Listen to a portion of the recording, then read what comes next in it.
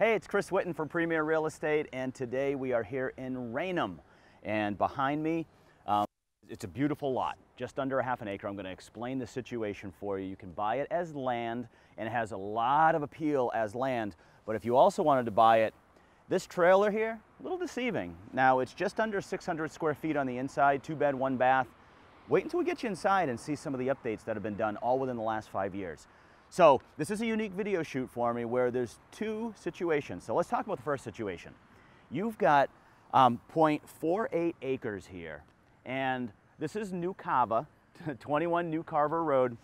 Over here, I'm street, I'm sorry, and then over here is O'Brien.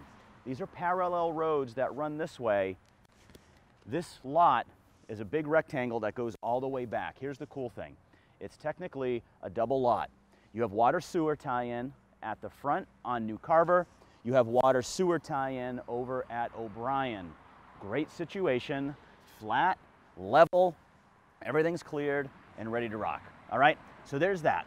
Now, for the home itself, if you know, that's perfect if you want to build a home um, right here, close by everything. We'll talk about the location in a second. But behind me is also this trailer here that's in great shape. Um, it's move-in ready, and for this price, you can't really move into Raynham and have your own single family home like this on a lot like this close to the highways. So before we get in there real quick, I want to explain where we are. So you're about three or four minutes off of 495 if you head down that way, right, on off of 138. And then if you head the other way on New Carver, you're going to end up going in the, uh, the industrial park there and then right off of Bay Street. So location-wise, it is dream. 95 isn't that far away at all. However, if you wanted to use your main driveway on the other side, you're on a dead-end road. O'Brien is a dead-end road. All right, so I've set the table here on what's going on. Let's get inside and I'll give you a tour of this mobile home if that's what you're looking to call home. It's a nice, sweet spot. All right, so inside here, we'll give you a sneak peek of the home. Um, again, a lot of the things updated within the last five or so years. So you can see you've got a nice Corian countertop here, which sticks out. You've got your kitchen sink, You've got propane here for your cooking, which is great if you love your cooking with gas. Um, you've got that, plenty of storage all over the place. You've got this double wide pantry here you can open up. So the kitchen here flows into your living room. Again, if you've got a, a sectional, you want to have a recliner, great space for that. Before we head to the master bedroom, I want to show you this bedroom here on the other end. This is bedroom technically number two.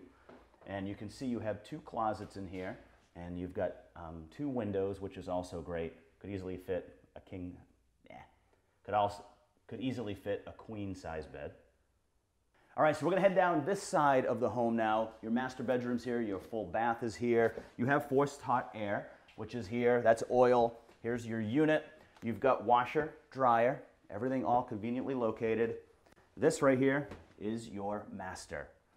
So you can see in here, they've got some good sized furniture and it all fits. So a queen size bed, perfect, and lots of natural light in here. And then here is your full bath. And this is pretty big too, considering the size of the home. Um, it hooks around. You've got your shower slash tub, which is fiberglass, and you've got a cute little window in here too.